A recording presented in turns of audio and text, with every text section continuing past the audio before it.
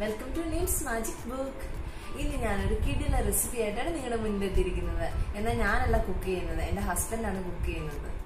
ആൾ കഴിഞ്ഞ ദിവസം ഇവിടെ ബീച്ചിൽ പോയി വലയിൽ കുറെ മീനൊക്കെ വാങ്ങിട്ട് വന്നേ. ഇവിടെ വന്ന് നോക്കുമ്പോൾ അതിന്റെ ഉള്ളിൽ കുറച്ച് ശംഖം ഉണ്ടായിരുന്നു. ഞാൻ ചോദിച്ചു ശംഖ് എന്തിനാ? അപ്പോൾ പറഞ്ഞു ശംഖ് വെച്ചിട്ട് എനിക്കൊരു അടിപൊളി ഡിഷ് ഉണ്ടാക്കാനുണ്ടെന്ന്. ഞാൻ ആദ്യമായിട്ടാണ് കേൾക്കുന്നത് ശംഖ് മനുഷ്യന് കഴിക്കാൻ പറ്റുന്ന ഒരു സാധനമാണെന്ന്. ഇന്ന് ശംഖ് വെച്ചുണ്ടാക്കുന്ന ഒരു പുതിയ ഡിഷാണ് ഏട്ടൻ നിങ്ങൾക്കായി പരിചയപ്പെടുത്തുന്നത്. ശംഖിന്റെ ഇംഗ്ലീഷ് പറയുന്നത് വെൽക്ക് എന്നാണ്. അതുകൊണ്ട് തന്നെ ഈ ഡിഷിന് എഴുതിട്ടിരിക്കുന്ന പേര് വെൽ ക്രിസ്പി ഫ്രൈ എന്നാണ്. നമുക്ക് നോക്കാം എങ്ങനെ ഇത് ഉണ്ടാക്കണേന്ന്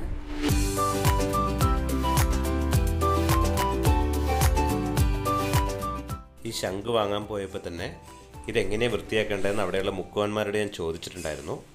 അവർ പറഞ്ഞത് കൂടാണ്ട് ഞാൻ പിന്നെ ഒന്ന് ഗൂഗിളിൽ കൂടെ നോക്കി ഒന്നുകൂടെ ഉറപ്പുവരുത്തി.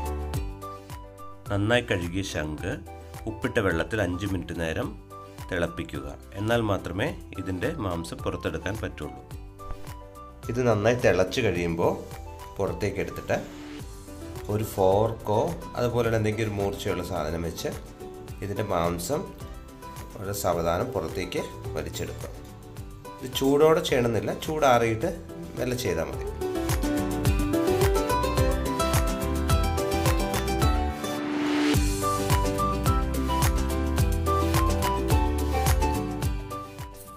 ഇനി നമുക്ക് ഇതിന്റെ സോഫ്റ്റായ ഭാഗങ്ങളെല്ലാം നീക്കം ചെയ്യാം. ഇത് കൈകൊണ്ട് തന്നെ ചെയ്താൽ മതിയാവും.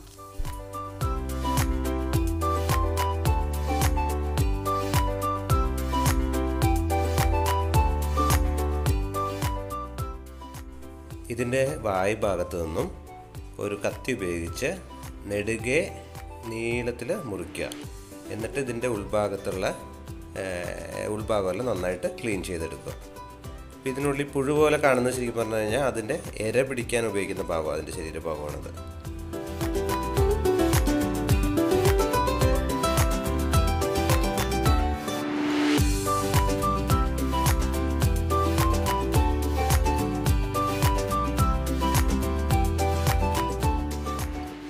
ഇപ്പം നമ്മളിത് വൃത്തിയാക്കി കഴിഞ്ഞു. ഇത് നന്നായിട്ട് നമുക്ക് കഴുകി അങ്ങ് എടുക്കാം. ഇനി ഓരോ ശങ്കരയും നമുക്ക് രണ്ടായിട്ട് മുറിച്ചിടും ചെറിയ കഷ്ണമാക്കണമെങ്കിൽ അങ്ങനെയും ചെയ്യാം. ഞാനിപ്പോൾ രണ്ടായിട്ടാണ് ചെയ്തത്.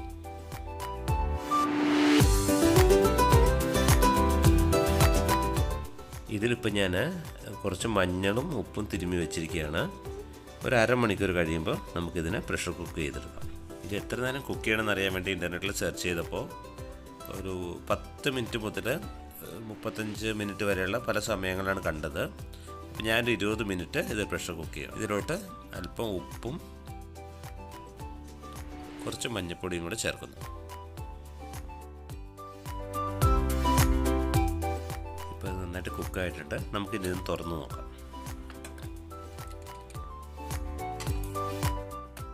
ഇനി ഇതിലേക്ക് അല്പം വിനാഗിരി ചേർത്ത് നല്ലതുപോലെ തിരുമ്മി അരമണിക്കൂർ നേരം വയ്ക്കാം ഞാനിപ്പോൾ ഇതിൽ ചേർക്കുന്നത് ആപ്പിൾ വിനാഗിരിയാണ്.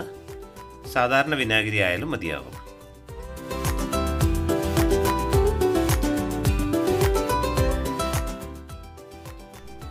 ഇനി നമുക്കിത് ഫ്രൈ ചെയ്യാൻ എന്തൊക്കെയാണ് വേണ്ടതെന്ന് നോക്കാം. കുറച്ച് ജിഞ്ചർ ഗാർലിക് പേസ്റ്റ് വേണം. പിന്നെ കുറച്ച് മൈദ പിന്നെ കുറച്ച് കോൺഫ്ലോർ കാശ്മീരി ചില്ലി മഞ്ഞൾ പിന്നെ ഒരു മുട്ട.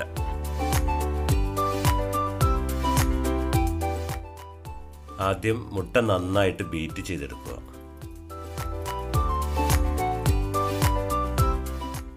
ഇനി ഇതിലേക്ക് മൈദയും കോൺഫ്ലോറും ചേർത്ത് നല്ലതുപോലെ മിക്സ് ചെയ്തെടുക്കുക.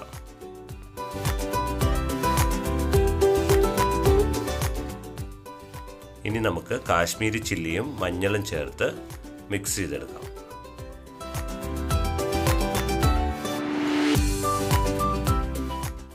ഇനി അല്പം ജിഞ്ചർ ഗാർലിക് പേസ്റ്റ് ചേർക്കാം. അല്പം സോയ സോസ് ചേർക്കാം.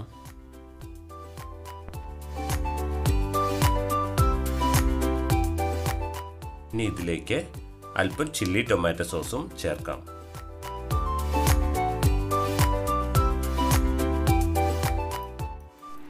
വീണ്ടും നന്നായി മിക്സ് ചെയ്തെടുക്കുക. ഇനി ഇതിലേക്ക് ആവശ്യത്തിന് ഉപ്പ് ചേർത്ത് നന്നായി ഇളക്കിയെടുക്കാം. എണ്ണ ചൂടായിട്ടുണ്ട്. നമുക്കിനി ഈ ശങ്കരച്ചി മാവിൽ മുക്കി പൊരിച്ചെടുക്കാം.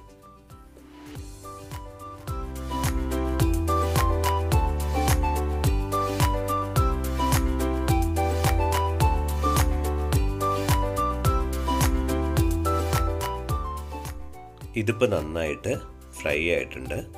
നമുക്കിത് ഇനി ഒരു പ്ലേറ്റിലേക്ക് മാറ്റാം.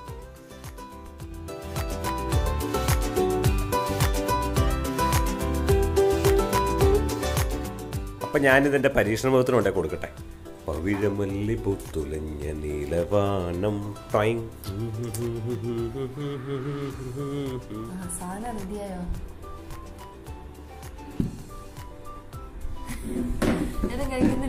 നീ ആദ്യം കഴിക്കേ.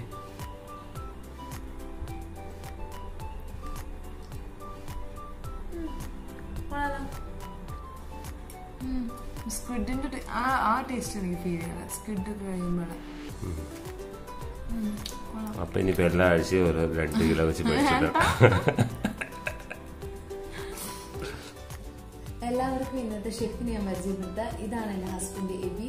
ഹായ് നിങ്ങൾക്ക് എല്ലാവർക്കും ഞങ്ങളുടെ പുതിയ റെസിപ്പി ഇഷ്ടപ്പെട്ടെന്ന് വിചാരിക്കുന്നു. അതുപോലെ തന്നെ ഞങ്ങളുടെ ബ്ലോഗും ഞങ്ങളുടെ ബ്ലോഗ് ഇഷ്ടപ്പെട്ടെങ്കിൽ ഞങ്ങളുടെ ചാനൽ സബ്സ്ക്രൈബ് ചെയ്യുക ലൈക്ക് ചെയ്യുക കമന്റ് ചെയ്യുക. അടുത്ത ബ്ലോഗുമായി കാണുന്നതുവരെ എല്ലാവർക്കും ബൈ ബൈ ബൈ